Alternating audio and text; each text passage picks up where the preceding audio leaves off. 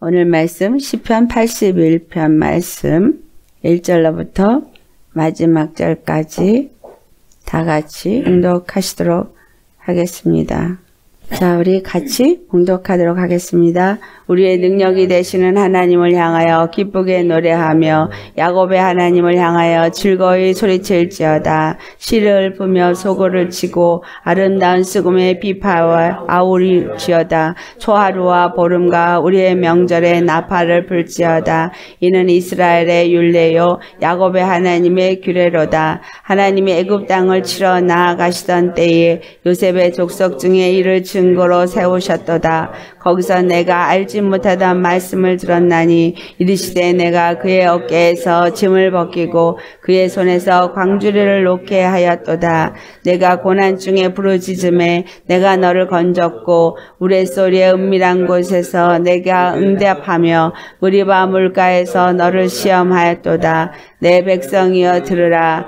내가 내게 증언하리라. 이스라엘이여 내게 듣기를 원하노라. 너희 중에 다른 신을 두지 말며 이방 신에게 절하지 말지어다.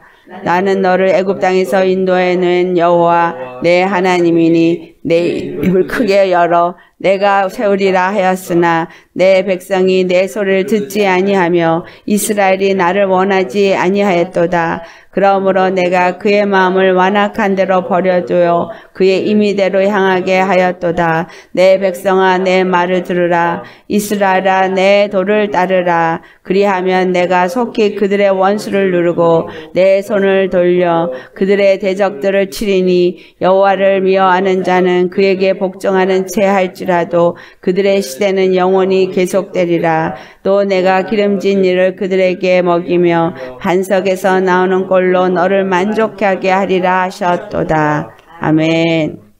자, 오늘 이 본문 말씀을 우리가 봉독하면서 여러분도 발견했을 거예요. 두 번이나 같은 말을 하시는데 그것이 무엇입니까? 8절에 내 백성이여 들으라. 내가 내게 증언하리라. 이스라엘여 내게 듣기를 원하노라. 라는 말씀을 하시고 또 13절에 내 백성아 내 말을 들으라. 이스라엘아 내 도를 따르라. 왜 하나님이 이와 같이 같은 말을 반복을 하느냐. 시편 81편은 아삽이 노래를 지어서 하나님께 올려드린 시가서입니다. 그런데 하나님이 분명히 지금 이 아삽의 입을 통해서 우리에게 말씀하고 있는 것은 하나님의 백성이면 하나님의 말을 들어야 하는 거예요. 하나님의 도를 따라야 하는 거예요. 이 말을 이렇게 하신 이유는 하나님 밖에는 그들을 구원하신 자가 없기 때문이에요. 그것이 10절에 나는 너를 애굽에서 인도해낸 여호와 내 하나님이니 내 입을 크게 열라 내가 채우리라 라고 말씀하신 거예요. 여기서 여호와가 아니라 주라고 해석하는 게 맞다고 제가 말씀을 드렸죠. 나는 너를 애굽에서 인도해낸 주, 내 하나님이니. 애굽에서 그들을 건져내신 분만이 그들의 주가 되어지는 거예요. 구원자만이 주가 될 수 있는 거예요. 그러니까 세상에 다른 그 어떤 누구에도 구원의 이름을 주지 않으셨다 그랬거든요. 하나님만이 주, 구원자이고 그 어떤 누구에게도 그 주가 될 수 있게 하는 것을 하나님이 허락하지 아니하셨기 때문에 이사에서 43장 11절에 내 이름을 내 영광을 다른 우상에게 주지 않았다라고 말씀하는 거죠. 하나님의 영광, 하나님의 이름, 그것은 하나님만이 우리의 주, 우리의 구원자가 될 수 있는 분이라는 거예요. 그걸 나타내기 위해서 이스라엘을 애굽에서부터 인도하여 내었어요. 그리고 내 하나님이니 하면서 내 입을 크게 열라. 내가 채우리라. 여기서 말한 입을 크게 열라. 채우리라. 입을 여는 것은 어떨 때 열어요?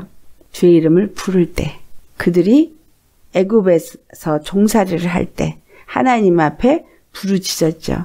그래서 7절에 내가 고난 중에 부르짖음에 내가 너를 건졌고 우레소리의 은밀한 곳에서 내게 응답하며 무리바 물가에서 너를 시험하였도다 라는 말을 합니다. 그들이 고난 중에 부르짖음에 근데 우리는 고난이 올 때 주님 앞에 나아가서 주님의 이름을 부르지만 부르면서도 두 가지 마음을 갖는다는 거예요. 두 마음을 가진다.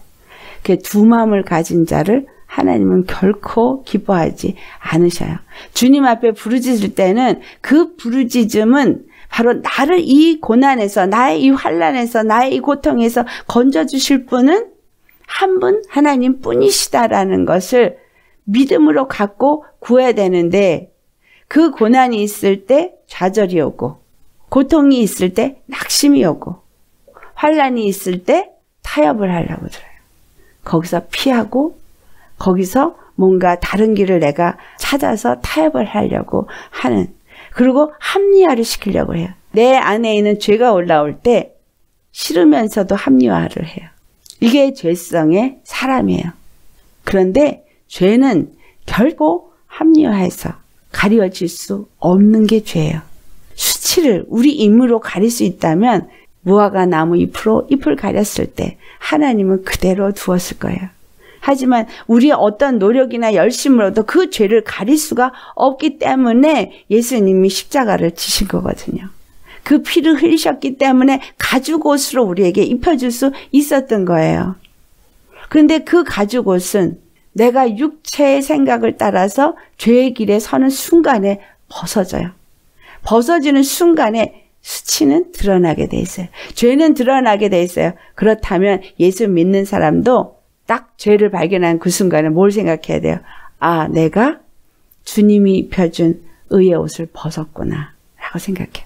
주님이 입혀준 그 누구도 해할 수 없고 누구도 침범할 수 없는 가죽옷, 의의 옷을 벗어버리는 거가 죄가 드러날 때예요. 우리가 대화를 나눴죠. 한 번에 변화될 수 없다고. 근데 한 번에 변화될 수 없는데 한 번에 변화된 자처럼 살 수는 있어요. 죄가 여전히 있을 때 그 죄를 용납하지 않으면 변화된 자처럼 살 수 있어요. 용납하지 않으면. 근데 그게 어려운 거지. 죄에게 속지 않으면 의의 사람으로서 거듭난 사람으로서 그 길을 계속 갈 수 있는데 죄가 올라올 때 죄에 속고 육적인 생각이 올라올 때 그것에 넘어진다는 사실이에요. 이게 우리 안에 너무나 우리 육의 사람이 우리를 지배하고 있다는 거예요. 내 육의 생각이, 내 육의 마음이 나를 늘 지배해 왔기 때문에 또 내 육의 감정이 또 내 육의 의지가 나를 지배해 왔기 때문에 이건 순간순간에 올라오는데 올라올 때마다 이거를 믿음의 생각으로 바꿔서 생각을 한다면 거기에 속지 않을 텐데 믿음의 생각으로 바꾸지를 않고 그 올라온 감정 그대로 올라온 내 의지 그대로 올라온 내 끝뜻 그대로 그냥 나아간다는 거예요. 입으로는 믿음의 사람이라고 말을 하면서 주님이 지금 이스라엘을 통해서 무엇을 말하고 있어요? 내가 고난 중에 부르짖어서 내가 너를 건졌는데 내가 우레소리의 그 은밀한 곳에서 내게 응답하였는데 무리바에서 반석을 쳐 물을 내어지도록 했는데 자, 이 무리바가 어떤 곳인 거예요? 백성들이 물을 못 먹어서 모세를 대적했던 곳이에요. 그들에게 쓴물을 단물로 만들어 주신 하나님. 반석에서 물을 내서 먹게 하신 하나님을 이미 경험했거든요. 그런데 무리바에서 또 하나님을 시험한 거예요. 이미 은혜를 경험하고서도 은혜를 경험하고 죄사함을 받은 걸 경험하고서도 내가 또 하나님 앞에 죄를 짓는 거. 왜 죄를 졌어요? 내 생각에 내 마음에 만족함이 없기 때문에 내가 원하는 대로 되지 않기 때문에 그런 죄 많이 짓죠. 내가 원하는 대로 내 마음대로 내 생각대로 내 때에 안 되기 때문에 죄를 짓거든요. 그게 바로 무리바 사건이에요. 모세도 거기서 죄를 져요. 주님이 뭐라고 하셨냐면 반석에게 명하여서 물을 내라 라고 말했는데 앞에서 반석을 쳤기 때문에 뒤에서도 반석을 쳤어요. 내가 물을 내랴. 거기에서 내가 물을 내랴는 아니에요. 하나님이 물을 내주시는 거지. 우리가 예수 믿으면서 순간에 나도 모르게 나는 뭔가 잘하고 있는 것 같이. 나는 뭔가 의로운 것 같이. 나는 뭔가 믿음 있는 것 같이 생각하는 그 순간에 나는 잘하고 있다고 한 것이 바로 모세가 지은 죄예요. 내가 물을 내랴. 무슨 말이에요? 내가 너희를 참으랴. 나보다 연약한 자가 옆에서 잘못하는 일을 볼 때 내가 더 이상 너를 참으랴? 아니면 내가 너를 용납하랴? 이 죄가 사단의 죄와 같은 교만의 죄예요. 왜? 네가 뭘 용납해? 네가 뭘 참어? 네가 뭘 할 수 있는데? 하나님이 너를 이렇게 만들어 준 것이지 네가 한 것이 있냐? 그거거든요. 그러니까 무리바에서 너를 시험하였다고 한 것처럼 우리의 삶의 믿음의 삶을 사는 사람들이 가면서 하나님이 시험을 하시는 거에 넘어지는 거예요. 믿음으로 정말 믿음의 길에 말씀을 받음으로 그 말씀의 길에 가고 있는가를 보기 위해서 내버려 둘 때 늘 믿음의 길, 늘 말씀의 길을 가느냐 하면 그렇지가 않고 순간에 내 생각, 내 판단이 올라오고 내 마음이 올라와서 그걸 취하다라는 거예요. 그만큼 무엇을 가르쳐 주시는 거냐 하면 우리는 우리 생각과 우리의 마음이 순간순간 우리를 주장함으로 인해서 하나님이 주신 시험을 통과하지 못하는 때가 있다라는 거예요. 그러니까 내 백성이여 들으라. 내가 내게 증언하리라. 이스라엘이여 내게 듣기를 원하노라. 주님의 음성을 듣는다는 것, 쉐마. 주님의 말씀을 듣는 건 무조건 그분에게 맡기고 순종하는 것을 의미하고 있어요. 내가 뭘 할 수 있다고 하는 것이 아니라 주님 뜻대로 하옵소서. 그래서 어떤 일을 할 때에도 내 생각은 이거지만 그 상황은 뭔가가 다르게 펼쳐지면 그냥 그것도 맡길 수 있어야 돼요. 내 생각은 이게 옳은데 하나님은 내 생각이 옳다고 생각하는 그 길이 아닌 다른 길을 원하고 있을 때가 있거든요. 그럴 때 내 생각이 옳다고 그걸 고집하면 시험에 넘어지는 거예요. 그럼 뭐가 올라오냐? 죄성이 올라와요. 미처 생각하지 못했던 죄성이 올라오고 있는 것을 느껴요. 결국은 그 한 가지 일로 인해서 다른 영혼을 실족시키고 넘어뜨리게도 하면서 나의 삶 속에서 영혼을 살리는 일을 해야 되는데 내 생각대로 나아감으로 인해서 영혼을 죽이는 일을 하더라는 거예요. 믿는 자일지라도 과연 내가 하나님의 음성을 듣는 자냐? 하나님의 말씀을 듣고 하나님이 원하는 대로 그렇게 가고 있는가를 늘 돌아보아야 한다는 거예요. 나를 건져내신 이가 하나님이시고 나를 오늘이 있게 만드신 이가 하나님이시고 이것이 내가 원하고 내가 잘나고 내가 똑똑해서 된 건 하나도 없기 때문인 거예요.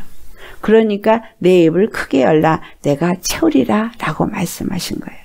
그렇게 하지 않을 때 그 다음 말씀이 뭐예요? 12절 말씀이 내가 그의 마음을 완악한 대로 버려두어 그의 임의대로 행하게 하였도다. 마음을 완악한 대로 버려도 그의 임의대로 행하게 했도다라는 거를 우리가 생각할 때는 어떤 악인이 이럴 것이라고 생각하는데 이게 주의 종도 이럴 수 있는 거예요. 믿음의 사람도 이렇게 할 수 있는 거예요. 내가 옳다라는 생각을 끝까지 고수하면 그 마음을 완악한 대로 버려두고 그 임의대로 행하도록 두기 때문에 그 일을 행하면서 나는 옳다라고 생각하고 그 일을 행하는 거예요. 그런데 그것 때문에 영혼은 죽고 영혼은 넘어지고 영혼은 상처 입고 그랬다면 그것은 하나님이 원하는 길은 아니다라는 거죠. 시편 82편을 통해서 내 백성아 내 말을 들으라. 이스라엘아 내 도를 따르라 라고 말하는 거예요. 오늘 이 본문 말씀을 보면 이 도를 따르는 게 바로 예수 그리스도의 십자가의 도를 의미한다는 거죠. 주님이 지금 아삽의 입을 통해서 가르쳐 준 말씀이 첫 번째가 1절로부터 3절까지는 기뻐 노래하며 즐거이 소리 지르고 시를 읽고 소고를 치고 수금을 가 피파를 치고 나팔을 부는 걸 말하고 있어요. 도대체 이때가 언제이길래 이와 같은 일을 하느냐? 3절에 보면 초하루와 보름과 우리의 명절에 나팔을 불자다 라고 하는 이 초하루. 이때가 언제냐면 바로 7월 초하루. 7월 초하루면 7월 1일. 그러면 그날이 무슨 날이에요? 나팔절날. 나팔절날은 무엇을 앞둔 날이냐 하면 속죄일을 앞둔 날이에요. 나팔절이 7월 1일부터 10일까지 있고 그 다음에 10일에 속죄일이 있죠. 그 앞에 있는 그 10일에 이들이 행하는 일은 무엇을 행하냐 하면 회개를 하는 거예요. 완전한 회개. 이스라엘 사람 완전한 회개를 하는데 왜 완전한 회개를 하느냐? 토탈로 치면 전체로는 그 앞에 한 달까지 해서 총 40일을 회개를 합니다. 이 총 40일을 왜 그들이 회개를 하냐면 시내산에서 하나님께서 돌판을 줄 때 아론과 함께 금송아지를 만들고 하나님을 대적했기 때문인 거예요. 그래서 첫 번째 돌판이 깨지고 두 번째 40일 동안 모세가 중보 회개 기도를 했고 그리고 나서 세 번째 40일 다시 올라가서 돌판을 받아서 40일, 40일, 40일 세 번의 신의 산에 올라가는 일이 있었던 거죠. 그래서 그 40일 그들이 하나님 앞에 범죄한 것 때문에 애통하면서 40일을 회개를 하는데 마지막 10일을 온전히 주님 앞에 회개를 하면서 속죄일을 맞아들이는데 이 나팔을 불 때 무슨 나팔을 부냐면 여기서 나팔을 불때 영어로 된 그 번역본이나 원어를 보면 수양의 뿔로 만든 나팔을 불라고 해요. 회중을 불러 모을 때는 두 은나팔을 갖고 불러요. 근데 이때는 무슨 나팔을 부냐? 뿔나팔을 불어요. 이스라엘이 하나님 앞에 나올 때 숫양의 뿔을 부는 이유가 있어요. 숫양은 누구를 상징해요? 1년 된 양으로서 6월절에 드려진 우리 주 예수 그리스도를 상징하고 있어요. 그분이 드려지심으로 인해서 그분이 뭐가 되냐? 구원의 뿔이 되어 주셨거든요. 예수님이 구원의 뿔이 되어 주셨어요. 그래서 예수님이 그 구원의 뿔이 되어진 십자가가 우리에게 나팔 소리가 되어진 거예요. 구약 때는 이 사람들이 나팔절에 그 수량의 뿔을 가지고 나팔을 불었지만 이것은 예수 그리스도가 바로 수 양으로 오셔서 우리에게 제물이 되어지고 그 이스라엘을 애굽에서 건져낸 양의 피가 되어지었고 그래서 그 수양의 뿔로 나팔을 부는 거예요. 수양의 뿔을 갖다가 나팔을 분다고 하나님이 그곳에 임하는 것이 아니라 내게 예수님의 십자가가 구원의 능력이 되어졌느냐.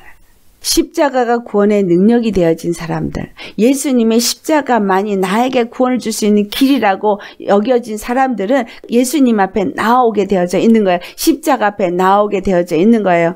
세상의 것을 다 버리고 그 부르심을 따라 예수님 십자가 앞에 나오는 거예요. 왜? 그 구원이 십자가에만 있기 때문에.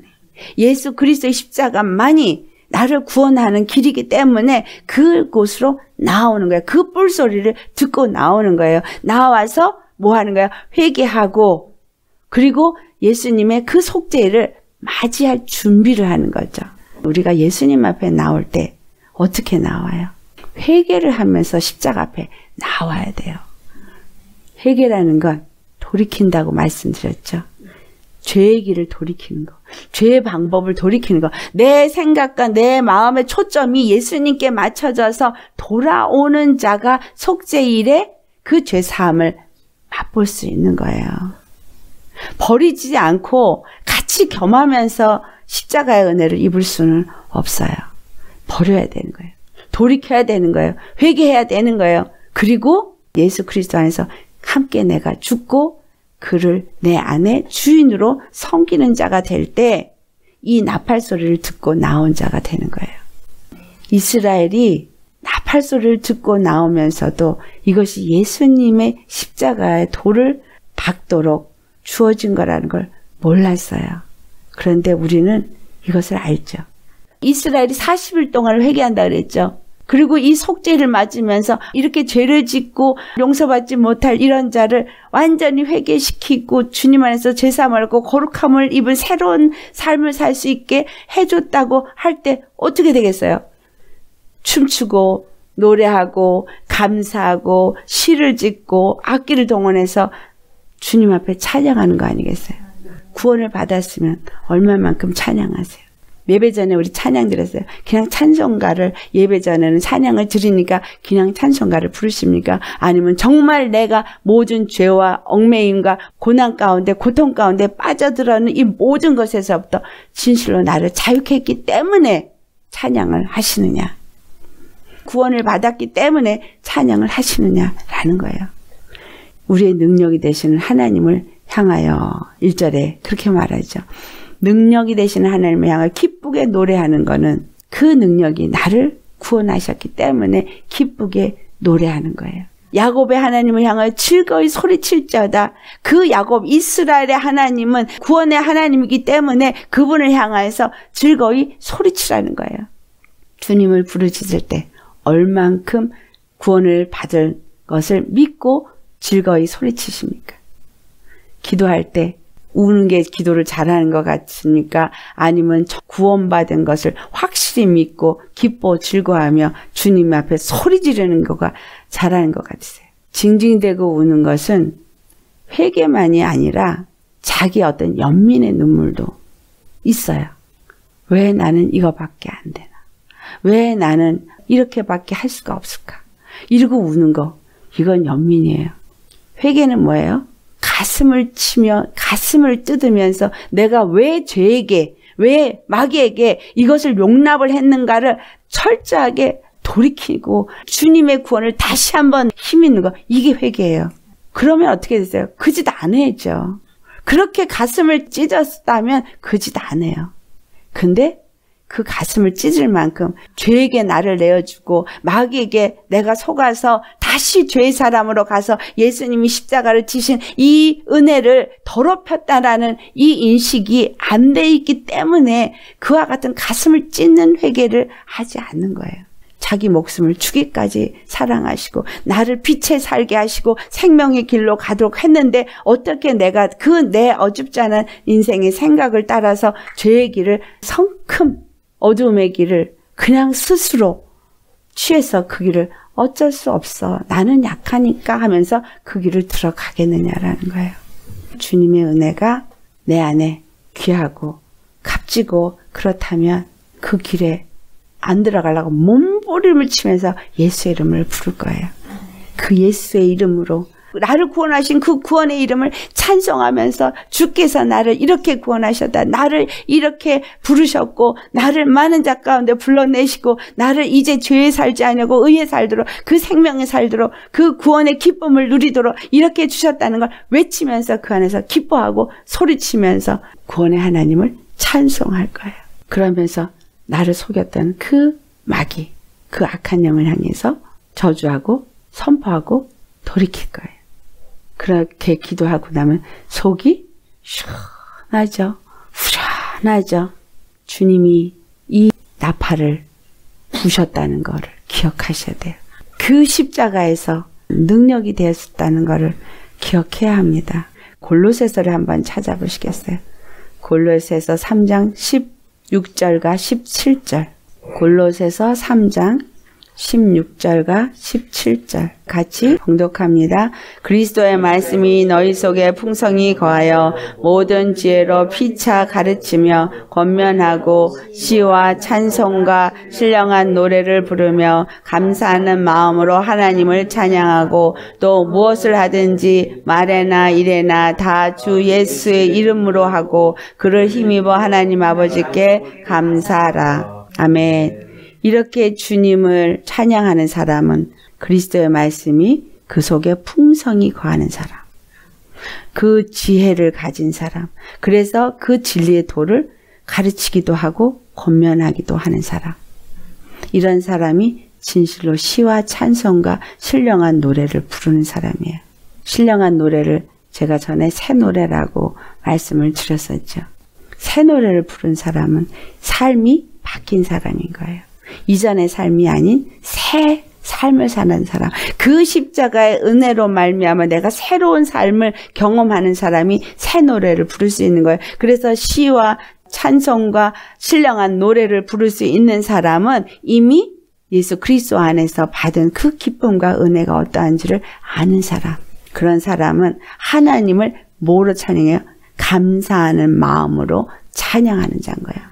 곡조 있는 노래니까 그냥 노래 부르는 것이 아니라 정말 감사하는 마음으로 찬양을 드리는 거예요. 나를 구속하신 그 은혜가 너무 감사해서 찬양을 드려야 되는 거예요. 찬송 들을 때 눈물 흘리고 찬양을 해놓고 삶으로 가면은 전혀 딴 일을 하고 있, 는 거. 그게 뭐예요? 감정, 정적인 연민에서 나온 찬양의 눈물인 거예요. 진실로 예수님이 십자가의 은혜를 아는 자라면 진실로 감사하는 감격과 감동 속에서 그분을 찬양합니다. 주님이 원하는 찬양은 그런 찬양인 거예요.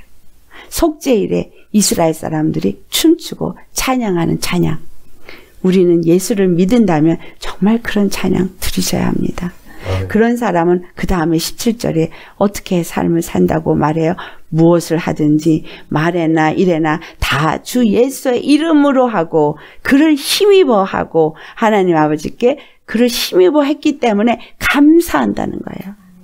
말에나 일에나 모든 일을 주 예수 이름으로 하는 삶을 사셔야 하는 거예요. 내 생각, 내 의로 일을 하시면 안 되는 거예요. 그리고 내 생각과 내 의로 내가 잘할 수 있다고 생각해도 안 되는 거예요.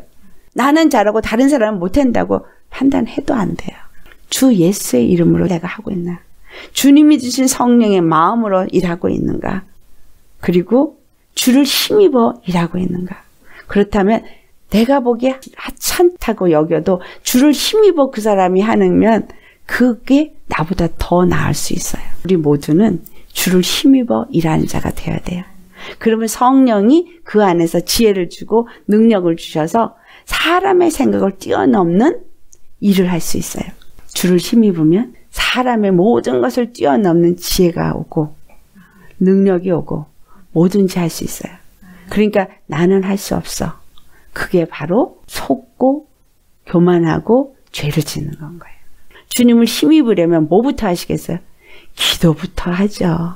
오늘 하루 일과를 일해서 나가서 일을 해야 된다고 하면서 아침에 기도 안 하면서 하루를 시작하는 건 내 의로 하겠다는 거예요. 아버지 오늘 내가 나아가서 이러이러한 일을 해야 되는데 주님 주님을 힘입고 주님의 인도하심을 따라서 주님이 주신 지혜와 능력으로 이 일을 할 수 있도록 도와주시옵소서. 이 한마디라도 하고 나아가는 사람은 정말 주를 힘입는 사람이에요. 그런 사람은 모든 일을 하되 주여 내가 일을 하되 예수의 이름으로 말하고 예수의 이름으로 행하게 하옵소서. 자, 예수의 이름으로 말하면 다른 사람 상처 안 줘요. 예수의 이름으로 말하면 주님의 능력이 나타나요. 주님의 능력, 하나님의 능력은 사람의 마음을 움직일 수 있는 능력이에요. 안 될 것도 되게 하시는 능력이에요. 그러니까 우리가 무슨 말을 하든 무슨 일을 하든 주 예수의 이름으로 하려고 하는 사람은 기도 없이는 아무 일도 하지 않아요. 모든 일에, 이 세상의 모든 일에 내 말이나 내 능력으로 하려고 하는 사람, 그 사람은 예수님 안에 있는 사람이 아니에요.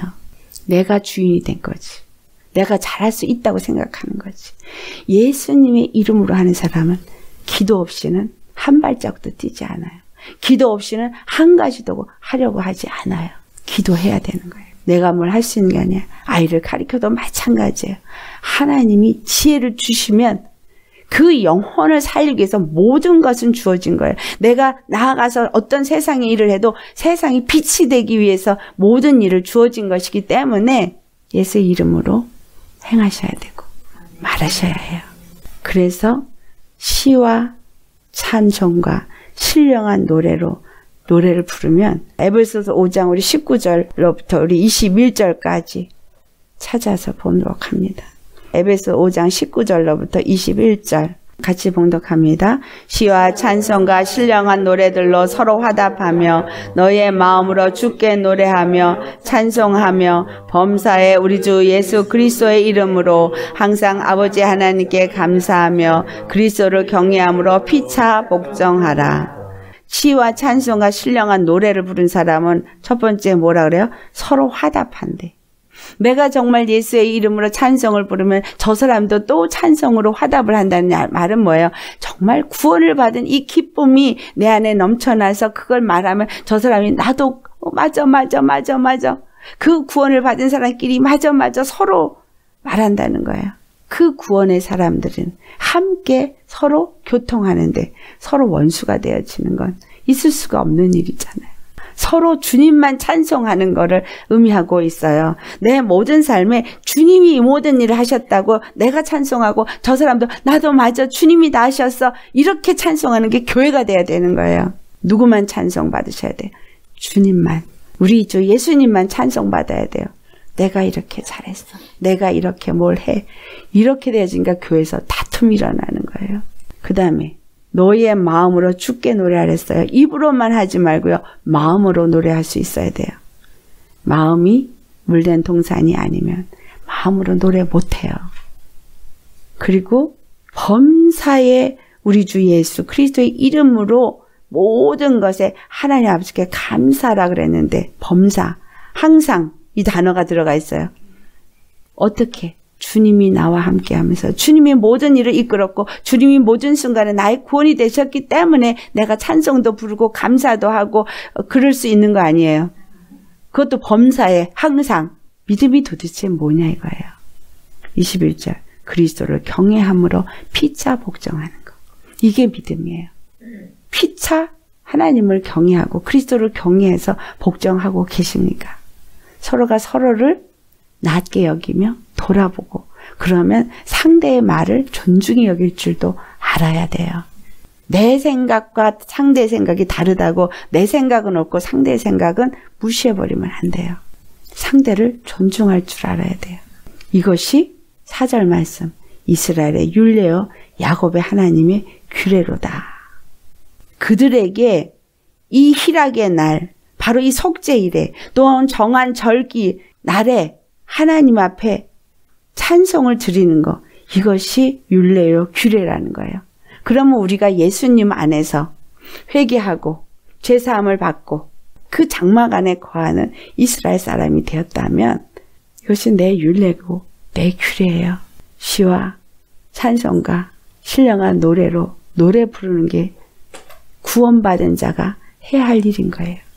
모든 일에 그 이름으로 일하고 그 이름으로 찬송하고 그 이름으로 감사하는 일을 범사에 항상 해야 되는 거 이게 규례라는 거예요. 이게 믿음 안에 있는 사람이에요. 이게 그리스도를 경외하는 사람이에요. 십자가에서 모든 일을 이루셨기 때문에 그분을 경외하고 그리고 그분의 말씀에 복종하는 게 나를 버리는 거예요. 내 생각을 따르지 않는 거. 내 감정을 따르지 않는 거예요. 이들에게 행한 이 모든 것이 그들에게는 어떤 정한 절기나 어떤 월삭이나 나팔을 부는 거라든가 어떤 재물을 드리는 거 이것이 그들에게 주어진 일이죠. 그렇다면 우리에게는 뭐라고 말씀하실까? 신약에 골로새서 2장 16절로부터 17절까지 봉독하시겠어요. 골로새서 2장 16절과 17절 같이 봉독합니다. 그러므로 먹고 마시는 것과 절기나 월삭이나 안식으로 인하여 누구든지 너희를 비판하지 못하게 하라. 이것들은 장래일의 그림자이나 몸은 그리스도의 것이니라. 아멘. 먹고 마시는 것, 절기나 월삭이나 안식으로 인해서 누구든지 너를 비판하지 못하게 하라. 지금 오늘날 교회가 어때요? 교회를 예배에 참석을 하느냐 안 하느냐. 교회에서 정한 순서대로 하느냐 안 하느냐 따라서 어쩌고 저쩌고 하죠. 이게 뭐예요? 지금 이스라엘 사람들이 말하고 있는 절기나 월삭이나 안식일 그걸 지켜야 된다고 말하는 그런 거예요. 이런 것으로 너를 비판하지 못하게 하라는 거예요. 왜? 이 모든 것은 장래일의 그림자라는 거예요. 예수 그리스도 안에서 다 이루어졌어요. 모든 이스라엘에게 준 절기, 이스라엘에게 준 월삭, 안식일, 예수 그리스도 십자가에서 죽으시고 부활하면서 다 이루어졌어요. 중요한 건 이제부터는 예수 그리스도 안에 거하는 믿음의 사람이 되어지고 예수 그리스도와 함께 동행하는 믿음의 사람이 되어지고 예수님이 열어놓으신 그 생명의 길인 십자가 길을 내가 나아가는 게 그게 우리에게 주어진 규례예요. 그래서 너희는 그리스도의 몸이요 그리스도의 것이라고 말하는 거예요. 내가 정말 그리스도의 몸이면 예루살렘 성전인 거예요. 그리스도의 몸인 예루살렘 성전이면 당연히 월삭과 안식일을 이건 나 안에서 지켜줘야 돼요. 그러면 안식일이 매일 지켜줘야 되는 거예요. 이게 안식일이 여기서 지켜지는 거니까. 그럼 내 심령이 매일 안식이 있어야 되잖아요. 평강이 있어야 돼요. 근데 왜 낙심하고? 왜 고민하고, 왜 좌절하고, 왜 넘어지고, 그 속죄일의 기쁨이 내 안에서 막 넘쳐나야 되는데, 내 배에서 생수의 강이 흘러 넘쳐나야 되는데, 안 되고 있거든. 주님의 나팔이 내 안에서 울려 퍼져야 돼요. 그 나팔은 말씀이거든요. 십자가의 도의 말씀. 그 말씀이 내 안에서 울려 퍼져서 내가 두 개 사람이 안 나오도록 딱 말씀으로 붙잡혀 있어야 되거든요. 골로새서 2장 18절 19절 같이 봉독합니다. 아무도 꾸며낸 겸손과 천사 숭배를 이유로 너희를 정지하지 못하게 하라. 그가 그 본 것에 의지하여 그 육신의 생각을 따라 헛되이 과장하고 머리를 붙들지 아니하는지라 온몸이 머리로 말미암아 마디와 힘줄로 공급함을 받고 연합하여 하나님이 자라게 하심으로 자라느니라. 아멘. 교회 다니면서 겸손한 척하는 거 꾸며낸 겸손인 거예요. 율법을 지킴으로 뭔가 겸손한 것 같이 하나님 섬기는 것 같이 하는 것 이것이 천사 숭배인 거예요. 이와 같이 교회를 다니면서 뭔가 그럴싸한 예배를 하는 거 꾸며낸 겸손과 천사 숭배인 거예요. 거기엔 예수가 없어요. 예수님은 어디서 만나요? 십자가에서 만나요. 그런 식으로 뭔가 보여지는 예배, 보여지는 겸손인 것 같은 그런 뭔가 행위로 구원을 얻는 천사 숭배하는 이런 사람들이 너를 정죄하지 못하도록 하라는 거예요. 어떻게 하면 우리가 정죄받지 않을까요? 그가 그 본 것에 의지하며 그 사람들은 보이는 육체 생각을 따라서 헛되이 경배하고 그들은 예수님을 머리로 붙들지 않는다는 거예요. 예수님을 주로 섬기지 않는다는 거예요. 그러니까 너희는 예수님을 듣고 주의 말씀을 듣고 예수님을 주로 섬기는 자가 되라는 거죠. 예수님을 주로 섬기고 그렇게 해서 믿음 안에서 십자가 길을 간다면 예수님이 책임져 주세요. 이 헛된 숭배를 하고 육신의 생각을 따라서 헛되이 과장하는 어떤 신앙의 모습을 가진 사람하고는 비교가 안 될 만큼 분명히 살아 역사하시는 하나님이 그와 함께함을 나타내 주십니다. 이렇게 외쳐도 듣고 또 딴짓하고 그래요 사람들이. 그러니 가슴을 치겠는 거예요 나는. 머리를 붙들지 않는 거죠. 예수님이 우리 머리죠. 나의 주인이에요. 나의 구원자예요. 그분이 이 몸을 잘 다스릴 거고, 이 몸을 잘 건강해 할 거고, 이 몸을 잘 지켜줄 거고, 주님이 하실 거거든. 문제는 내가 믿지 않는다는 거예요. 사단은 옆에서 믿지 못하게끔 자꾸 육신적으로 고통을 주고, 그걸 자꾸 기억하고 보고 그것에 흔들리게 해요. 그러니까 믿는 모습을 갖지 마시고 믿는 믿음을 가지세요. 믿는 믿음은 갈라디아 2장 20절 말씀을 보니 내가 그리스도와 함께 십자가에 못 박혀나니 그런즉 이제 내가 산 것은 오직 나를 사랑하사 나를 위하여 자기 몸을 버리신 하나님의 아들을 믿는 믿음 안에 사는 것이다. 믿는 믿음으로 살아야 되는 거예요. 오직 그것만 믿고 산다면 하나님은 반드시 그 이름의 영광을 우리 삶 속에 나타내 주십니다. 온 몸은 반드시 머리로부터 공급을 받게 돼 있어요. 그럼 난 지체니까 주님만 의지해야죠. 기도 없는 삶 있을 수 있어요? 없어요? 없어요. 기도 없는 행복 있을 수 없어요. 주님을 정말 머리로 의지한다면 주님이 나를 주장하도록 주님이 나를 이끄도록 주님이 나의 모든 행보를 이끌도록 그래야 되겠죠. 그래서 하나님이 애굽 땅을 치러 나가실 때 요셉의 족속 중에서 이를 증거로 세우셨다고 말해요. 하나님이 마귀를 진멸하러 나가실 때 요셉의 족속 중에 증거를 세우셨어요. 뭐예요, 그게? 요셉의 족속 중에 증거를 세우신 건 모세를 보내서 그 증거를 세웠던 거죠. 또 애굽을 치러 나갈 때 이와 같은 증거를 보인 건 우리 주 예수 그리스도를 마귀를 진멸하려 나갈 때 증거로 세우셨다 이 말이에요.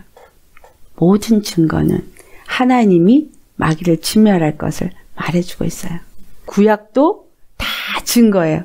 그리고 그 구약대로 그대로 오셔서 그 일을 이루신 증거를 보이셨고 하나님의 나라가 이 말씀을 이적과 표적을 행하면서 증거로 다 나타내셨고 눈먼 자가 눈을 뜨게 될 것을 보여주셨고 앉은 뱅이가 일어나는 걸 보여주셨고 저는 다리가 곧게 되는 걸 보여줬고 나사를 통해서 죽은 자가 살아나는 걸 보여주셨어요. 다 보여주셨어요. 그리고 십자가에서 죽으셨어요. 증거를 보여주시고 그리고 믿게끔 해주셨다는 거예요. 근데 우리는 증거를 다 보여줬는데도 믿지 못해요. 애굽에서 그 열 가지 재앙을 본 이스라엘이 그걸 믿지 못하고 광야에서 하나님을 시험하고 대적한 것과 똑같은 거예요. 그런 사람은 이 땅을 사는 동안에 그 광야에서 죽은 자 같이 됩니다. 무서운 거예요. 저는 정말 그걸 깨달을 때 정신이 번쩍 났어요.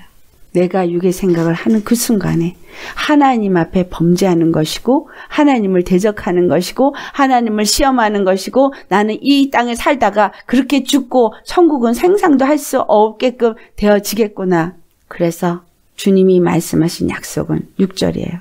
이르시되 아삽이 거기서 내가 알지 못하는 말씀을 들었나니 아삽은 그때 애굽에 있지도 않았던 사람이 이걸 쓰는 거예요. 성령으로 말미암아 이 모든 것을 쓰게 하고 있는 거죠. 이르시되 내가 그의 어깨에서 짐을 벗기시고 그의 손에서 광주리를 놓게 하셨다다. 우리 어깨에 맨 멍에를 깨뜨리시고 우리 손에 광주리를 놓게 하셨다. 내가 수고해서 뭔가 광주리를 채우려고 애쓰는 이 수고를 놓고 주님이 주신 거 그냥 먹게 한 게 만나였어요. 그런데 이 만나를 먹기 싫다고. 이 말씀만 먹고 어떻게 사냐고. 세상 것도 먹어야지. 세상에 살고 있으니 하고 있다는 거죠. 주님이 이 어깨 멍에를 꺾어버리신 건 마귀에게 종돼서 끌려다니고 내가 어디로 가야 될지 내가 정하는 게 아니라 끌려다니고 있는 이걸 깨뜨려 버렸는데 다시 어떻게 짐짓 그 멍에를 다시 쥐고자 하느냐라는 거죠. 그러니까 고난 중에 부르짖으라 말씀하시는 거예요. 그리고 내 음성을 들으라고 말씀하시는 거예요. 일곱 교회에게 하신 말, 귀인 자는 성령이 교회들에게 하는 음성을 들을지어다. 우리는 오늘도 부족한 저를 통해서 지금 외치신 거거든요. 그렇죠? 외치시는 거잖아요. 제발 하지 말라. 주님을 믿고 주님을 구원자로 섬기는 그 삶을 살고 너 스스로를 믿지 말고 너 스스로의 생각을 따라서 살지 말고 예수님을 믿는 자로서 살으라는 거예요. 그러면 그들의 원수를 하나님이 누르고 그 손을 들어서 그들의 대적을 치시고 하나님이 다 해주신다는 거예요. 여호와 하나님 주를 미워하는 자는 그에게 복종하는 채 할지라도 그들의 세대는 영원히 계속되리라. 이스라엘이 애굽에서 복종할 수밖에 없는 상황이었어요. 왜냐하면 애굽은 하나님을 믿는 자들이 아니죠. 하나님을 섬기는 자들도 아니에요. 오히려 주를 미워하는 자죠. 대적하는 자예요. 이 육체의 사람들인 거예요. 그래서 영의 사람이 그 밑에 눌려 있어서 마치 구속받는 것 같이 되어져 있다 할지라도 하나님은 그들을 반드시 일으키신다는 걸 말씀하고 있어요. 16절 내가 기름진 밀을 그들에게 먹이며 반석에서 나는 물로 너를 만족하게 하리라 하셨도다. 주님의 백성은 비록 애굽에서 종살이를 하고 있어도 건져내신다는 거예요. 구별시키신다는 거예요. 이 말을 믿느냐 믿지 아니하느냐 결정은 내가 하는 거예요. 믿느냐 믿지 아니냐 결정은 내가 하는 거예요. 믿으면 그분의 약속된 것을 내가 경험을 하게 되고 믿지 않으면 믿지 않은 대로 그대로 남게 되는 거예요. 애굽에서 나오게 했어도 나온 자가 있고 안 나온 자가 있고 잡족일지라도 이스라엘의 하나님을 주로 섬기고 쫓아 나온 자도 있고 근데 나와서도 그 안에서 의심하고 거역하고 구원을 믿지 아니한 자도 있고 끝까지 믿고 나아간 자도 있고 선택은 내가 하는 거예요. 근데 믿느냐? 믿는 자는 반드시 이 구원을 맛보고 찬송하고 감사하는 자가 될 것이라는 거예요. 구약에 일어난 모든 일을 예수님 안에서 다 성취하셨고 예수님 안에서 그 모든 을 성취하신 하나님이 이제 예수님이 준 십자가의 도만 믿고 그 예수 그리스도 십자가의 길만 나아가는 믿음의 삶을 살라라는 이야기를 하고 있는 거죠. 그러면 주님이 기름진 밀을 우리에게 먹이시고 또 반석에서 나오는 물로 우리를 마시게 하셔서 신령한 음료를 마시고 썩지 아니하는 양식을 먹고 영원히 사는 생명으로 이 땅에서 권세를 누리는 자가 되다가 그 생명으로 영원한 하늘나라로 올라가는 생명의 부활을 얻게 되어지고 영원히 하나님과 함께 사는 자가 되어지는 거예요. 그러니까 이 땅에 있는 동안에 말로만 주여 주여 아멘 아멘이 아니라 진실로 주 예수의 이름으로 말하고 주 예수의 이름으로 행동하고 주 예수님과 함께 하면서 성령의 인도함을 받는 그래서 성령의 인도 따라 주님이 주신 그 지혜로 행하고 그분을 경외하며 영혼을 살리는 모든 말, 세우는 입술 그러한 삶이 되시기를 예수로 축원합니다. 아멘. 자, 이 말씀 생각하면서 아, 우리 예수님 앞에 회개할 거 생각으로도 아직도 내가 살아있는 거 이것은 내가 그걸 용납한 거예요. 죄를 용납한 거예요. 마귀를 용납한 거예요. 주님 앞에 회개하시고 이제는 주여 모든 일을 행하되 말에도 일에도 주 예수의 이름으로 행하고 육신의 생각을 따라서 헛되이 과장하며 머리를 붙들지 아니하는 그런 사람들에게 분리되게 하시고 그런 사람들에게 비판을 받지 아니하는 오직 예수 그리스도의 것으로서 예수님만 의지하고 예수님만 섬기면서 찬양하고 감사하는 신령의 노래를 부를 수 있는 자가 되어질 수 있도록 다 같이 기도하시겠습니다. 할렐루야 거룩하신 아버지 감사드립니다. 존귀하신 우리 주 예수님을 찬양합니다. 지극히 높으신 하나님 그 거룩하신 아버지의 은혜 가운데서 오늘도 주님의 이름으로 나아가서 오늘도 주의 말씀을 따라서 주님과 교제하며 주님의 길을 가기를 원합니다. 거룩하신 아버지 함께 합시고 존귀하신 하나님 영광 받으시옵소서.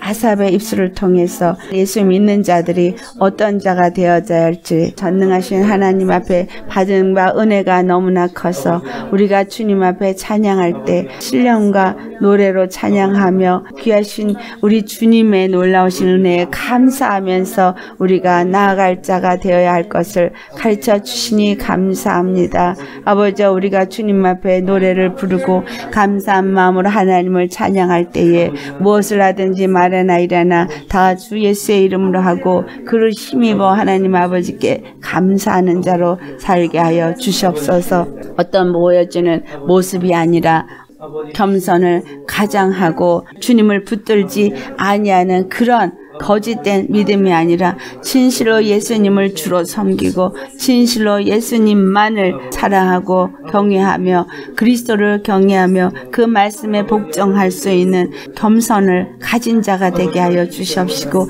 오직 그 말씀에 복종함으로써 어디를 가든지 주 예수님으로 말을 함으로 영혼을 살리는 입술이 되어지고 주 예수의 이름으로 일함으로 성령의 인도함을 따라서 일하는 자가 되게 하여 주셔서 내가 잘하고 내가 잘난 것이 아니라 오직 예수님께서 그 모든 것을 주심에 주님 안에서 모든 것을 하는 자라고 모든 공로를 우리 주님 앞에만 올려 드릴 수 있는 자가 되게 하여 주시옵소서.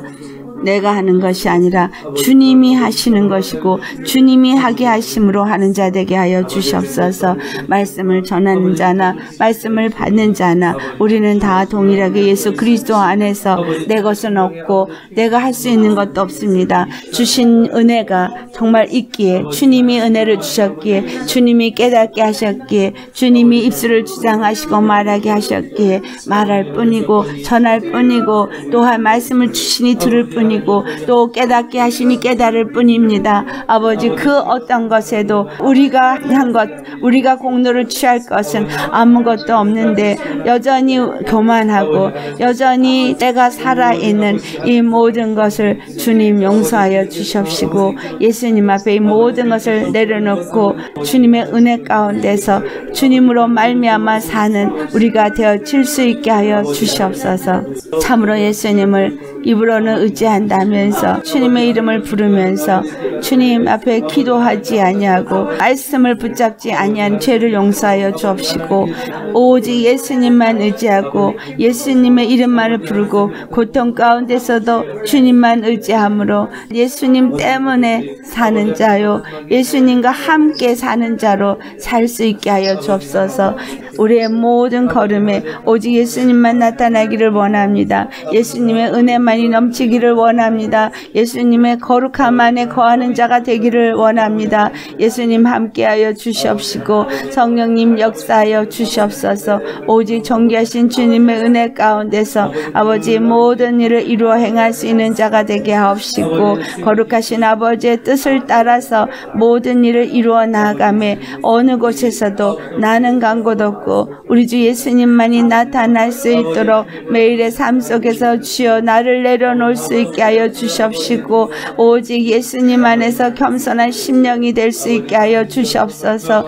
이것이 참으로 하나님의 말씀에 복종하는 것이냐 아니면 마귀에게 복종하는 것이냐 빛 가운데 거하는 것이냐 어둠 가운데 거하는 것이냐를 아버지 분명하게 나누고 있사오니 아버지 이것을 기억하게 앞서서. 예수님이 십자가에 죽으시고 참으로 우리가 우리 스스로 우리의 의로 살지 아니하고 오직 예수 님을 믿는 믿음으로 살게 하였는데 아버지 우리가 주님을 섬기고 믿는다 하면서 내 의로 여전히 살고 있고 참으로 내 방법으로 살고 있고 내 지식으로 살고 있고 예수님을 의지하지 않는 그 모든 것들을 주님 철저하게 주님 깨닫고 회개하며 돌이키게 하옵시고 오직 예수님만 의지하고 예수님 안에서 낙심 없이 좌절 없이 주님을 의지하고 붙잡고 정말 그 머리 대신 예수님이 그 몸을 보호하시고 그 몸을 양육하시고 그 몸을 통치하시고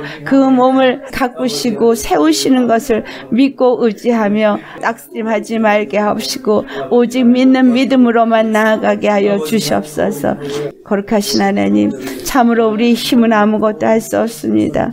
우리는 너무나 연약한 자입니다. 예수님께서 함께 하시고 예수님께서 은혜 내려 주셔서 예수님 안에서만 오직 주님의 음성만을 듣는 자 되게 하옵시고 성령이 교회들에게 하는 음성을 듣고 아버지 그 말씀을 아멘으로 받고 그 말씀을 따라 순종하며 그리스도만을 경외하며 믿음의 길을 갈 수 있도록 성령님 인도하여 주옵소서 우리를 가르쳐 주시고 이끄시고 오직 예수님 안에서 이 모든 길을 나아갈 수 있게 하여 주셨기를 간절히 바라고 원합니다. 더 이상 죄의 길을 반복하지 말게 하시고 이 모든 것을 단호하게 끌어버리고 단호하게 믿음의 길에 서서 믿음의 길로만 나아가는 자 되게 하여 주시옵소서. 입으로 범죄하고 생각으로 범죄하고 마음으로 범죄한 모든 것들을 주님 다 회개할 수 있게 하여 주옵시고 아버지 진실로 예수님 안에서 정말 참된 믿음의 길로서 예수님의 빛 가운데 거하고 오직 살리는 자로 주님의 주신 은혜만을 기억하며 나아가는 자가 될 수 있게 하여 주셔서 예수님 안에서 진실로 참된 믿음의 길을 가라. 아버지와 모든 길에 예수님과 함께 겸손하게 그 길을 가서 우리 심령이 주님의 안식을 지키고 월삭과 절기를 지키는 그러한 자가 되어지도록 예수님 안에서 기뻐하고 감사하며 나팔을 불고 주님 앞에 돌이켜 회개한 자로서 믿음의 길을 살게 하여 주옵소서 감사드립니다. 세상에 있는 사람들 헛되이 머리를 붙들지 않냐고 나아가는 그런 믿음의 모양을 가진 사람, 경건의 능력을 부인하며 그와 같이 행하는 모든 자들에게 비판받지 아니하도록 오직 우리 가운데 예수님만 나타날 수 있게 하여 주시옵소서. 오직 예수님만 나타날 수 있게 하여 주시옵시고 예수님께만 영광과 존귀와 찬양을 올려드리고 감사를 올려드릴 수 있도록 범사에 주님께 감사할 수 있는 자 되게 하여 주시옵소서. 할렐루야 거룩하신 아버지 참 감사합니다.